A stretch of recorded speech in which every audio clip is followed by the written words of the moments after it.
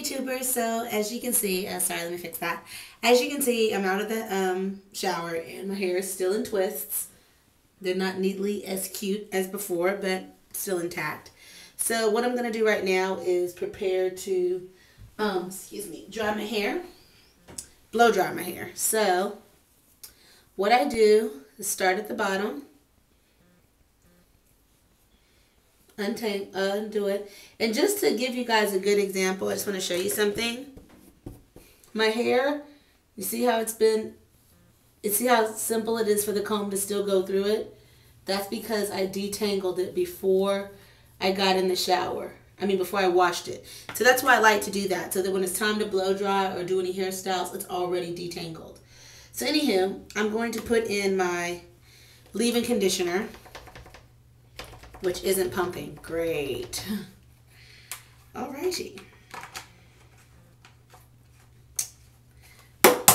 Old school. okay, because I don't have time to play. I need to deep condition my hair. Now, normally, um, I just use that much. I don't know why the pump's not working. I guess because I'm low. If you can see that. Normally, um, I would actually put this in and sit under the dryer. But since I'm blow drying it straight, um, I'm actually going to just do it now.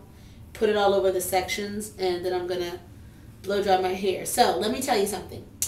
Normally, I would put this in, and if I were not blow drying, I would seal with the castor oil. After I put this in, I would put the castor oil from here down and twist my hair up with the olive oil, etc. But today, since I'm blow drying, I'm going to put the deep conditioner in and I'm going to apply my Silk Elements before I blow dry. Oops. Silk Elements before I blow dry. So I'm going to give a nice even spray of that all throughout the section.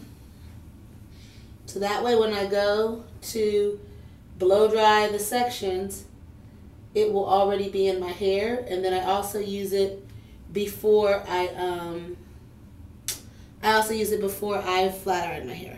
So um, right now I'm just going to twist this down.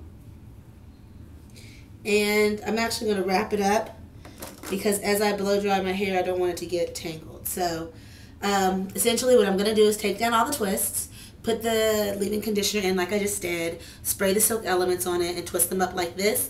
And then I will come back and show you how I do my um, blow drying. I'll basically take down each section starting from the back and blow dry it.